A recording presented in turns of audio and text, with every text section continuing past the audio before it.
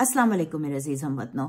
पंद्रह अप्रैल 2023 बहुत सारी बातें हुई मुल्क में बहुत सारी ऐसी चीज़ें जिनके बारे में बात करनी है लेकिन जिस सबसे ज़रूरी चीज़ जिसके बारे में आज मैं तफसील से आपके साथ बात करूँगी वो जो तीन नुकात हैं Pakistan jurist round table convention जो हुआ उसके बारे में।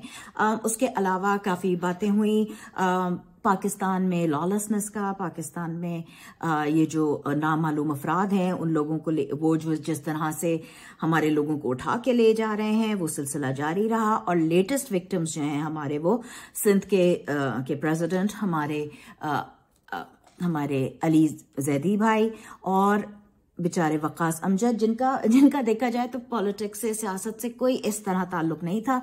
वो तो बस बेचारे जमान पार्क में लोगों को सहरियाँ कराते थे अवतारियाँ कराते हैं और वो बच्चा बस उसका उनका तो ये काम है कि वो जो है वो जिस किसी की भी मदद कर सकते हैं, मदद करते हैं। उनको उठा के ले गए। बहरहाल ये जुल्म चलता रहेगा। इस जुल्म को हम देख रहे हैं, इसके खिलाफ आवाज़ भी उठा रहे हैं। एक ज़रूरी बात यह हुई कि आज के दिन, अब नब्बे दिन जो है पंजाब के इंट्रम सेटअप के, जो पंजाब का केयर टेकर सेटअप है, निगरान सेटअप उसके पूरे हो गए। आईनी और कानूनी तौर पे नब्बे दिन के बाद असेंबली के तहलील होने के ये जो निगरान सेटअप होता है, इसको चले जाना चाहिए क्योंकि इनका काम होता है इलेक्शन कराएँ। अब तक इलेक्शन हो जाने चाहिए थे, इनको अपने घर चले जाना चाहिए था। लेकिन अब नब्बे दिन पूरे होने के बाद इनका किसी भी कानूनी, आईनी नुक्ते से किसी भी कोई जवाब है ही नहीं। तो इनको तो अपना मोहसिन नकवी साहब को अपना बोरिया बिस्तर पैक करके और अब अपने घर निकल जाना चाहिए। अच्छा जी, जो मैंने आपको बिल्कुल वीडियो के शुरू में बात की थी कि तीन इम्पोर्टेंट नकार, जो पाकिस्तान जूरिस्ट राउंड टेबल का कन्वेंशन हुआ, उसके बारे में, उसकी बात करते हैं। तो जी ये एक बहुत ही तारीखी इवेंट था जो कि हुआ। आ, ये गोलमेज कॉन्फ्रेंस जो होती है जिसमें पाकिस्तान से आ, या जिसमें सारे जो वकला होते हैं बहुत ही सीनियर हाई कोर्ट के सुप्रीम कोर्ट के जो लॉयर्स होते हैं जो बार एसोसिएशंस होते हैं उनके बहुत सीनियर मेम्बरान जो हैं वो ये मिलते हैं। और ये जो है इनका काम ही ये होता है कि ये जो है वो कॉन्स्टिट्यूशन के आइन के जो नुकात होते हैं इनके बारे में बातचीत करें। और ये मेरे ख्याल में पाकिस्तान की हिस्ट्री में शायद एक ही दफ़ा पहले हुआ है, क्योंकि ये सिर्फ़ उस वक्त होता है। इस तरह का काम जब हम मुल्क का जो आइन होता है, जो मुल्क का कानून, मुल्क का कॉन्स्टिट्यूशन होता है, वो किसी बहुत ही गहरी किस्म के, बहुत ही ज़्यादा इंडेंजर्ड होता है, बहुत ही ज़्यादा ग्रेव थ्रेट उसको होती है। उस वक्त वकला जो होते हैं सीनियर वकला मिलते हैं।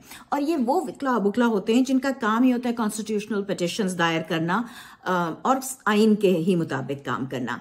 कई बड़े बहुत ही ज़्यादा सीनियर बहुत ही ज़्यादा रिस्पेक्टेबल नाम थे जिन लोग मिले। एतजाज एहसन साहब थे सलमान अकबर राजा थे एडवोकेट हामिद खान साहब थे लतीफ़ खोसा साहब थे।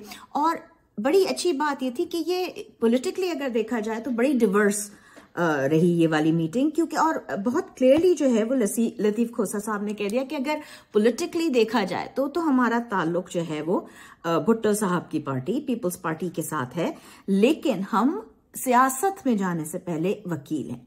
और इस हिसाब से हम एक न्यूट्रल होके एक एक इंडिपेंडेंट भी हमारी जो राय है और जब जहाँ कॉन्स्टिट्यूशन आइन और कानून की जहाँ तक बात आती है तो हमारे हमारा साथ हमेशा सुप्रीम कोर्ट और कॉन्स्टिट्यूशन के का आइन के साथ देंगे हम।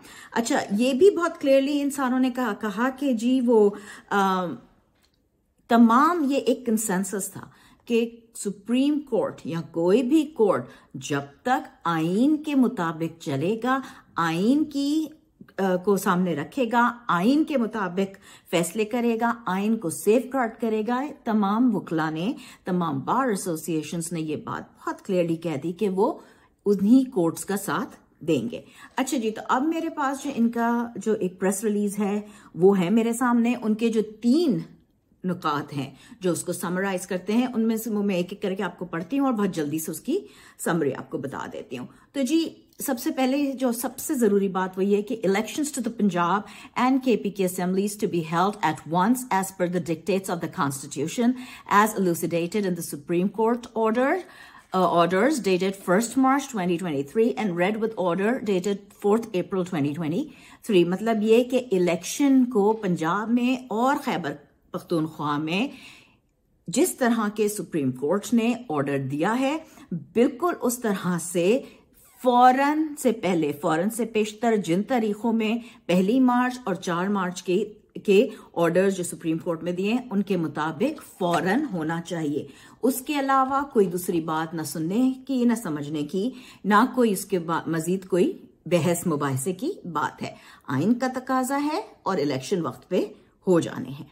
दूसरा नुकता इनका यह था कि the issues internal to the Supreme Court of Pakistan be decided by the by the judges themselves through the Committee of Judges, mutual respect, due recognition of status, property, propriety and dignity behooving judges of the highest court of the land कि ये जो supreme court के जजेस के आ, की आपस में जो भी कोई शिकवे शिकायत हैं या जो भी जिस मुकाबले में वो आ, जिस मामलों में वो एक दूसरे के साथ मुतफिक नहीं है वो बिल्कुल जिस तरह के, क्योंकि ये सबसे ज़्यादा मुल्क का सुप्रीम, सबसे बड़ा, सबसे ज़्यादा मोतबर कोर्ट है तो ये अपने जो आपस के मामले हैं, उनको उसी डिग्निटी उसी रिस्पेक्ट के, जो कि इस इतने बड़े इदारे जो इतना बड़ा इदारा जिसके मुस्तक है, वो आपस में खुद ही सुलझा लेंगे। किसी और इदारे का, किसी और शख्स का इसके बीच में बोलने का कोई जवाब पैदा नहीं होता तीसरा और आखिरी नुकता any permissible legislation to legislation to regulate the court और its process ought not to be deployed to destroy the court, its independence, its dignity, and authority.